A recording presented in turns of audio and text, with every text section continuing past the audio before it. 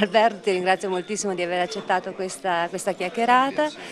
Io vorrei farti i complimenti innanzitutto per la modalità con la quale svolgi il tuo lavoro, questo per, per una questione anche di tipo personale perché eh, questa tua modalità mi permette di, essere, di, di, percepirmi come un soggetto attivo dell'informazione, che è una cosa abbastanza rara, soprattutto in questa fase storica. No? Eh, in quanto eh, il vissuto di partecipazione eh, mi permette di, eh, di, aprire il pensiero e non, non, di chiuderlo, come normalmente invece accade no? di fronte all'informazione e quindi risveglia quello che è il mio pensiero critico e credo che questo possa accadere alla maggior parte della gente. Quindi eh, per questo io volevo aprire facendoti i complimenti, ti volevo fare i complimenti per il premio che hai ricevuto a giugno all'Ilaria Alpi, alle, eh, il premio ricevuto a Riccione e per il filmato, il filmato che hai prodotto insieme a Stefano Maria Bianchi, eh, La mafia è bianca. Dire che quello che hai detto è bellissimo per un giornalista sentirsi dire una cosa del genere. ti ringrazio, ti ringrazio io a te perché è veramente stato esaltante, credo che lo sarà ancora perché l'ho già visto tre volte questo filmato.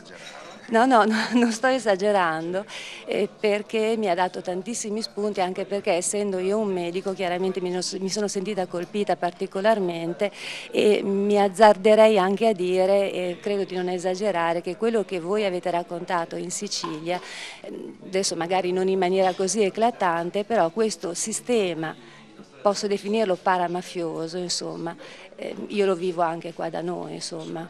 Ma infatti quello che noi raccontiamo in Sicilia è qualcosa di, di, eclatante, come hai detto tu, di fronte a una, a una situazione che, che, che, è rappresentata da crimin, dalla criminalità organizzata viene chiamata mafia, cosa nostra, ma in altre, in altre situazioni, in altre regioni non c'è una situazione di quel tipo. Però quello che raccontiamo è, è, qualcosa che riguarda tutto il paese, cioè su questo non ci piove, anche perché la legge, le leggi che determinano questo, questo sistema eh, riguardano tutte le regioni d'Italia, quindi la mafia bianca probabilmente cambiando il titolo, ritoccando il titolo potresti, potresti ambientarlo in Campania, potresti ambientarlo in Lombardia, potresti ambientarlo in Emilia Romagna.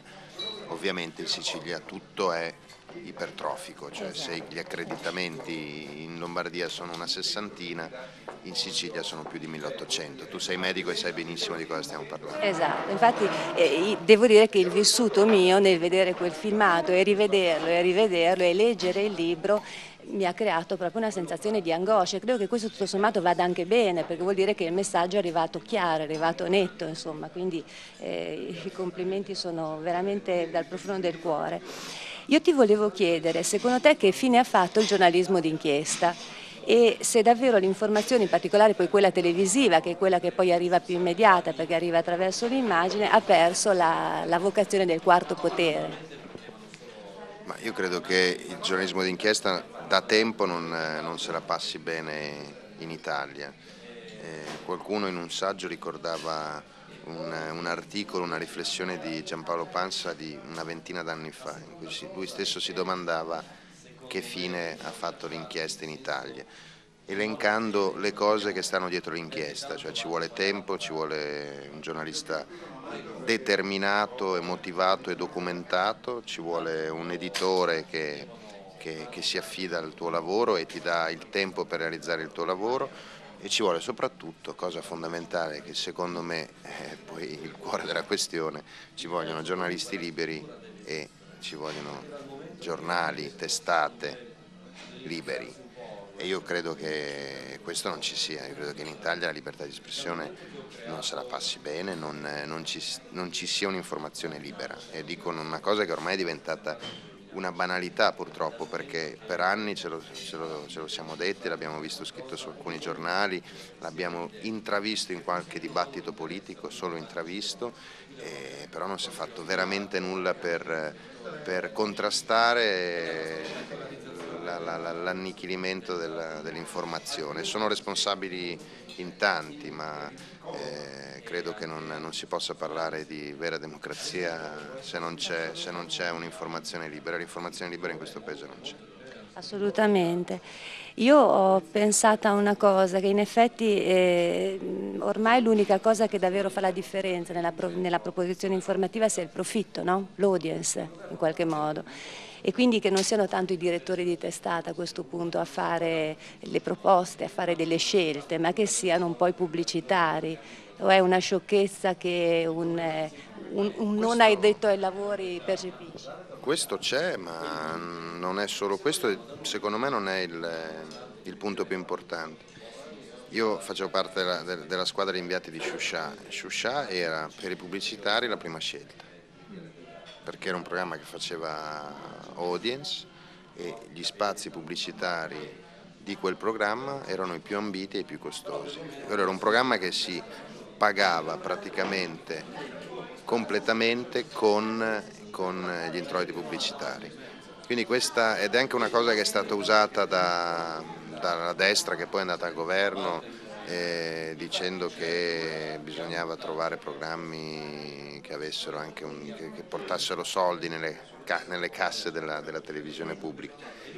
Shusha è stato sostituito con, con un programma hanno cambiato il conduttore, hanno cambiato il programma, hanno cambiato ovviamente il modo di raccontare le cose è scomparsa la realtà e quello è un programma che faceva il 4%, il 5% di ascolti e i primi ad andarsene, prima, ancora prima dei telespettatori, sono stati pubblicitari. Quindi è anche un po' una, un errore pensare che l'inchiesta non sia, non sia redditizia da quel punto di vista. L'inchiesta è qualcosa che costa, costa in termini di tempo, in termini di soldi eh, in un paese che ha un sistema informativo sano, in cambio ti dà successo e prestigio. Qui mancano un po' tutte le cose perché non c'è una testata che investe, spesso le grandi testate non investono più tanto nell'inchiesta, ma per motivi politici soprattutto. E quando invece ci sono giornalisti come Sigfrido Ranucci che fa un'inchiesta nella televisione pubblica sorprendente, clamorosa, eccezionale, invece di, di, di approfittare questo momento di prestigio per una qualsiasi testata, la stessa azienda che ha prodotto in qualche modo quel lavoro di inchiesta, quel lavoro di, di grande giornalismo, fa finta che non sia avvenuto. Intanto ci sono 1100 televisioni intorno al mondo che chiamano Sigfrido Ranucci e la RAI per mi dai quei 25 minuti di inchiesta sul fosforo bianco. Io ho l'impressione che si sia abbassato vabbè, il livello culturale in assoluto no? dal di, e dal punto di vista politico e conseguentemente dal punto di vista informativo. Questa è una cosa che come ascoltatrice, come usufruitrice del servizio un pochettino mi offende, no? credo che sia anche comprensibile perché quando accendi la televisione segui qualche qualche trasmissione che dovrebbe essere di informazione e ti rendi conto che non ti dà delle informazioni o comunque che utilizza un linguaggio molto povero anche, no? non, non, sento più coniugare un congiuntivo da che modo, questa è una cosa che mi dà fastidio, un po' come il gessetto sulla lavagna, no?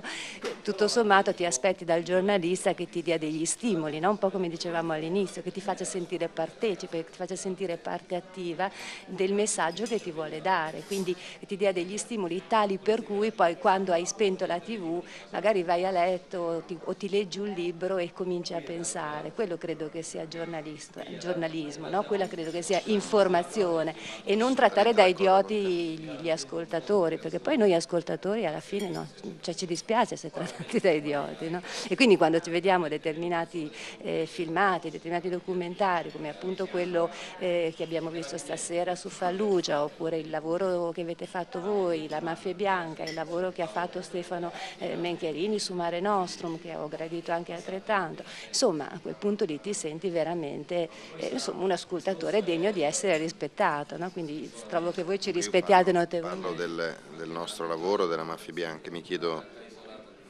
tanto perché non, eh, una storia come quella che raccontiamo noi non, eh, non, è stata raccontata dai programmi di approfondimento che ci sono e che stanno sopravvivendo in Rai e, e su Mediaset.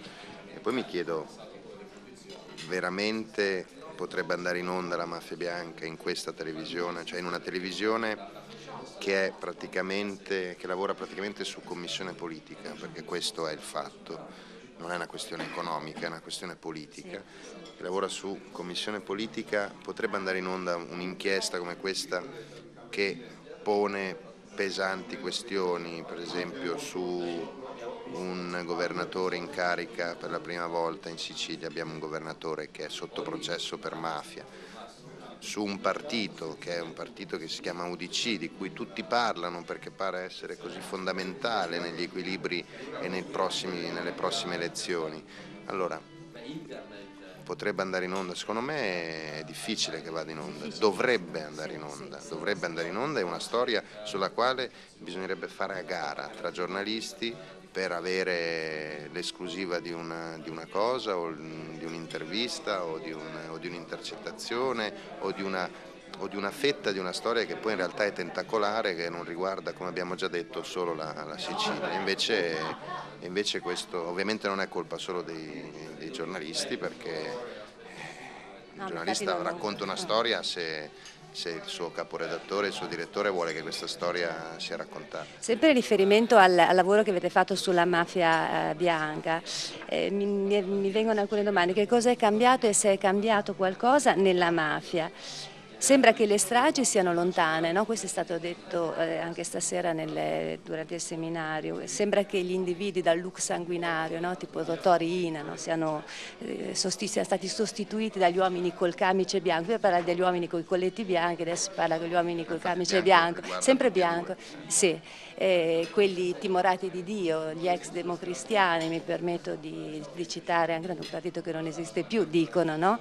Eh, quelli moderati così, ma anche questo è un luogo comune che mm. non è più diventato, eh, non è più luogo comune, cioè la mafia storicamente è, è questa cosa qui, non fa rumore, cioè lo stragismo mm. è un momento di, di, di, di crisi, è un momento eccezionale, spettacolare di Cosa Nostra. La mafia nella sua storia ha sempre, ha sempre vissuto ed è, si è sempre ingrassata a stretto contatto con la politica nel silenzio. Quindi anche quando recentemente, insomma, dopo le stragi, si è detto ah, la mafia non fa più rumore, forse è entrata in una fase di declino. Abbiamo cominciato a dibattere su questo argomento. In realtà la mafia sta benissimo, ma sta proprio bene. E noi ne raccontiamo solo un pezzettino, cioè abbiamo preso la sanità come, come punto d'incontro devastante tra il potere politico e il potere mafioso, ma eh, per esempio appunto la sanità è una, una realtà dove la mafia si insinua tranquillamente, dove fa profitto fa grandi profitti, perché la sanità muove tantissimi soldi, milioni e milioni di euro e lo fa non sporcandosi le mani. A me piace molto una cosa che tra l'altro aveva scritto anche Enrico De Aglio su Diario, che abbiamo anche incontrato, io ho avuto modo di parlarne con lui su, su, su, questo passaggio, questa metafora che ha usato lui, cioè la mafia che decide a un certo punto di investire sul traffico internazionale di stupefacenti e quindi si rivolge a una clientela che è quella dei tossicodipendenti che, che sono un certo tipo di clientela. Poi però potrebbe scoprire di poter investire sulla sanità, specialmente magari sulla dialisi e quindi puntare su un cliente che è un dializzato che è molto più affidabile di un, affidabile di un tossicodipendente, perché il tossicodipendente insomma, o, o, smette o magari finisce male e quindi non puoi più contare su di lui. Idealizzato invece ti campa, ti campa serenamente magari per 30-40 anni e, e, tu la sua dose gliela garantisci 3-4 volte a settimana e, e non ti sporchi le mani che il messaggio che passa, se deve passare, dovesse venire fuori qualcosa, comunque tu stai facendo qualcosa di buono, stai investendo nella sanità, non stai investendo nell'eroina. Tu pensi che ci sia un legame tra il reset eh, della politica italiana post Tangentopoli e questo apparente, apparente cambiamento ai vertici della mafia? Perché un po' l'ho percepito.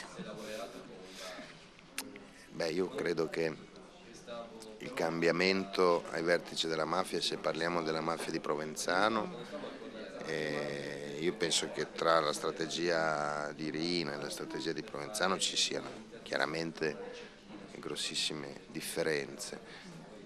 anche su questo è stato scritto, ma nemmeno troppo, ma insomma pare che Provenzano non fosse così d'accordo su, su, certe scelte della mafia dei Corleonesi.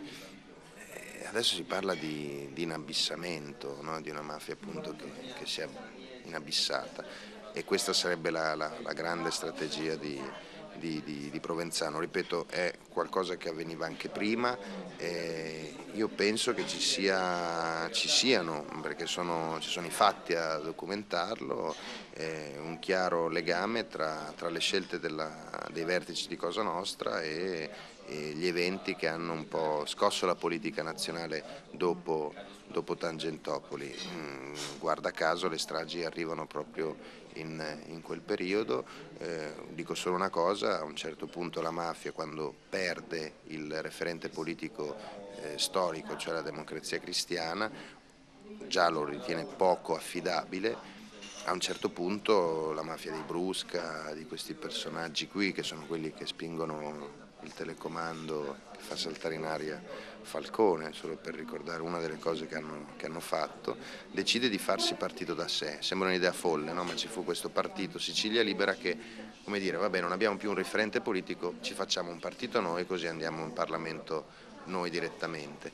Un'idea assolutamente balzana, per certi versi balorda, eh, però ci, ci possiamo ricordare di un'insegna di una sede di Sicilia Libera che una mattina non è più sede di Sicilia Libera ma è sede di un nuovo partito che si chiama Forza Italia. Ecco, infatti è quello che un cittadino comune, ignorante come posso essere io, ha un pochino percepito, no? questo, questo viraggio verso questo nuovo partito senza, mi permetto di dire, ideologie, ecco, di, di, insomma, non, sen non, sento che ci sia questo substrato ideologico dietro questo partito, poi ognuno la può pensare come gli pare, siamo in democrazia. Questo dà, dà, un po' fastidio a, ad alcuni rappresentanti anche di una vecchia mafia. Mm. Il già citato Giuseppe Guttadauro, che, sì, che sì. è medico e che, sì. e che appartiene a, a una lunga storia di mafia, non è una cosa recente la sua e non è un caso che Provenzano pensi a lui quando, lo, quando deve trovare un sostituto dei fratelli Graviano a capo del mandamento di Brancaccio che è il mandamento più importante di Palermo. Vuole un medico che tra l'altro non è di Brancaccio ma è di Bagheria, cioè l'enclave di Provenzano, la terra per esempio dove, dove, dove viene fuori, da, da, cui viene fuori questo, questo ingegnere Aiello che è poi il proprietario di Villa Santa Teresa. E quando io mi sono ascoltato, ma ti parlo di ore e ore di intercettazioni ambientali eh, di Casa Guttadauro, avuto la, la, la, fortuna e la possibilità di, di, entrare nella mentalità del mafioso, perché praticamente lui in questo salotto riceveva tutti, da politici a colleghi di mafia, a liberi professionisti. E più volte lui ribadiva questo concetto che appunto lui è sempre stato democristiano e la sua passione era Buttiglione io sono malato di buttiglione, dice più volte.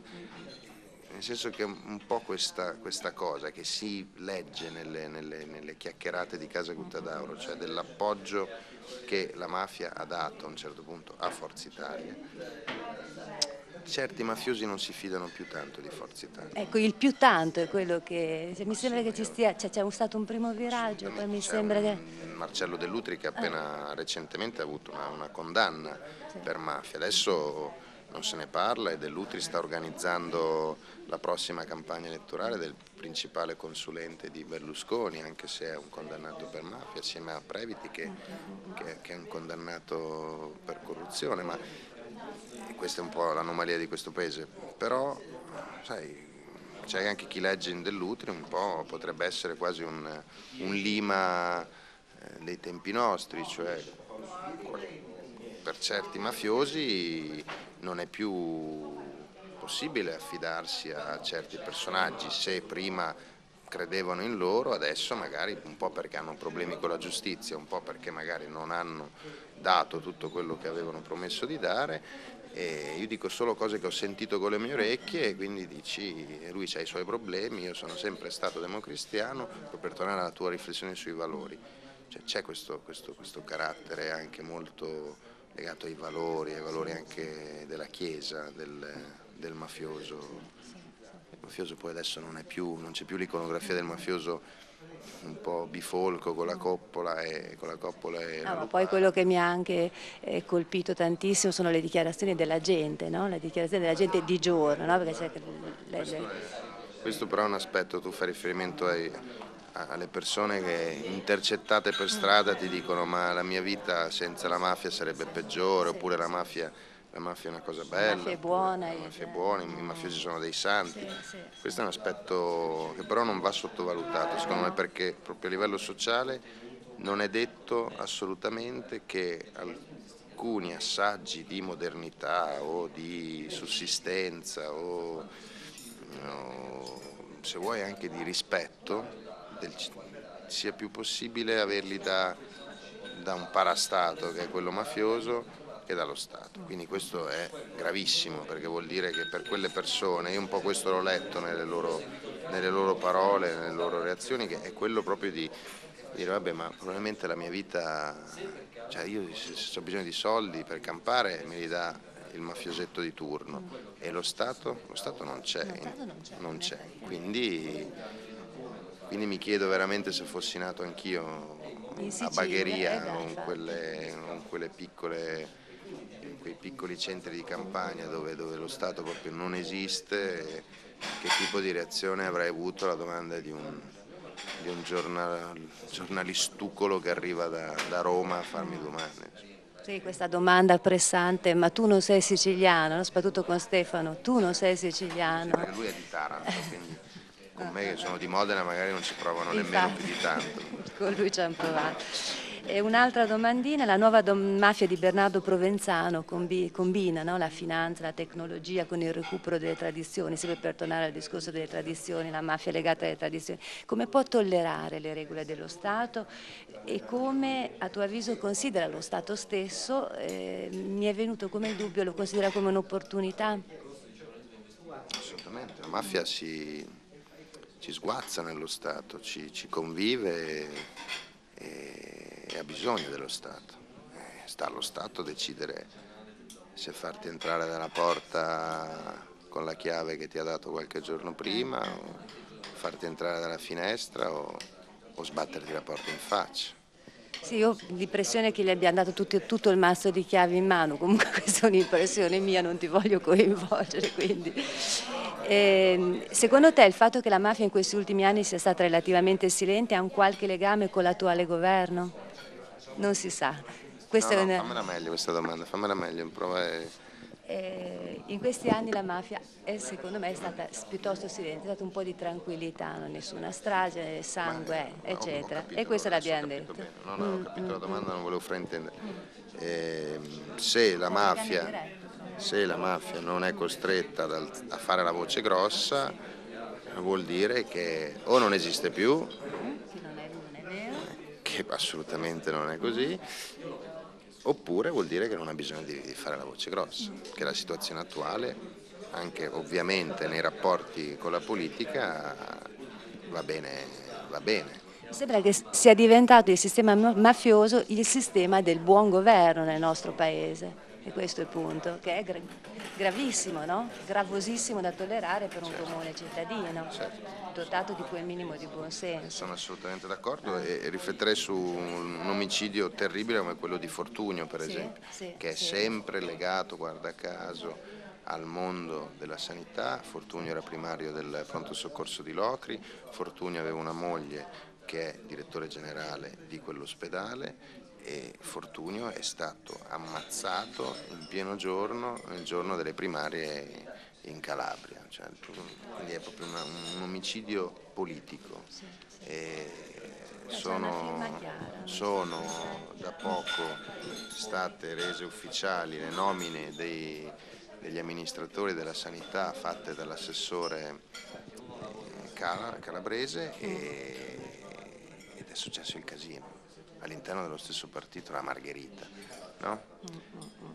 Sono messaggi chiari che devono far riflettere, quindi quello è un po' il fare la voce grossa, non un po', è fare la voce proprio grossa, quella di andare a ammazzare il vicepresidente di una regione in pieno giorno in un momento politico importante come può essere quello delle primarie. Quindi vuol dire che la mafia lì ha sentito il bisogno di, di, di, di alzare la voce, di fare la voce grossa.